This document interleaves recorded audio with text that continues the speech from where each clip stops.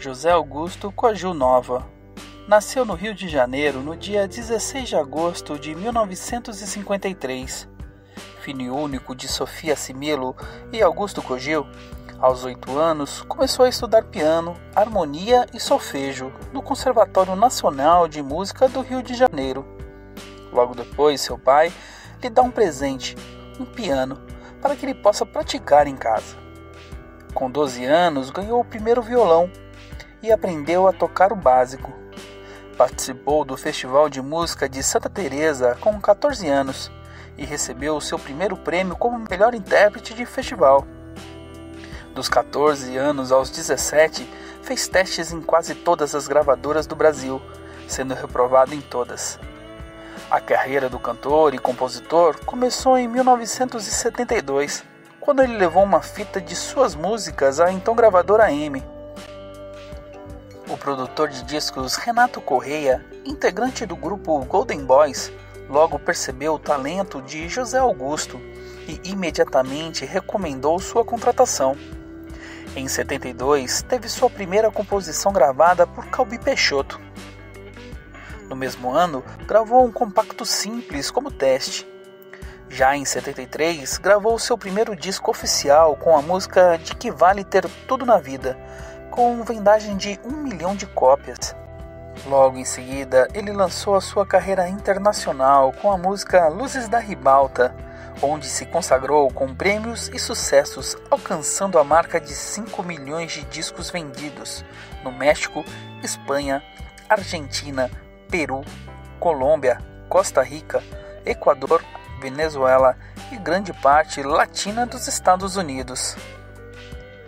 Mesmo se dedicando ao mercado latino, Augusto continuou lançando discos no Brasil e compondo para vários artistas como Alcione, Simone, Chitãozinho e Chororó, Fafá de Belém e muitos outros. Em 85 surgiu mais um hit, a música Fantasias, que rompeu o bloqueio das rádios FMs no Brasil, que na época não divulgavam os artistas populares. Augusto ainda fechou a década com uma série de sucessos, como Sábado, De Igual para Igual, Chuvas de Verão, Eu e Você, Fui Eu, Só Você, Amantes e muitas outras. Consagrado no mercado latino e no cenário nacional, José Augusto abriu a década de 90 com mais um hit, a música Aguenta Coração, tema da novela Barriga de Aluguel, na Rede Globo. Devido ao sucesso da trama, também no exterior, o cantor grava a canção em espanhol e italiano. O artista permaneceu durante meses nas paradas latino-americanas da revista Billboard e recebeu pela primeira vez o prêmio Aplauso na categoria de melhor cantor latino. Depois de um ano e meio no primeiro lugar nas rádios do Brasil, ele volta a emplacar mais um sucesso no mesmo disco, a música Sonho por Sonho. A década é marcada por vários sucessos e convidados. Xuxa participou do tema da abertura da novela Sonho Meu, da Rede Globo, autoria de José Augusto e Carlos Cola. Outras canções que marcaram a década foram A Noite Mais Linda, tema da novela O Mapa da Mina, Bate Coração, também tema da novela de Corpo e Alma. Te Amo, tema da novela Torre de Babel. Por Eu Ter Me Machucado, tema da novela A Indomada. A Minha História, também gravada em espanhol e executada até hoje no Brasil e nos países latinos. Paralelamente à agenda de shows no Brasil, José Augusto seguiu fazendo shows em Portugal, Porto Rico e Angola. Em 2001, José Augusto lançou um projeto especial pela Abril Music, De Volta para o Interior.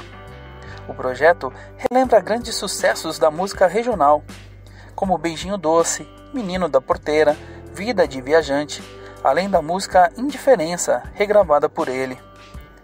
De 2002 a 2005, afastado do cenário musical, resolveu se dedicar às composições.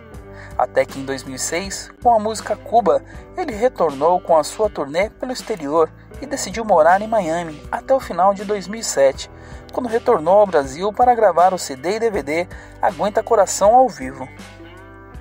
Até 2009, José Augusto tinha vendido algo superior a 20 milhões de discos. José Augusto continua compondo e gravando músicas até hoje.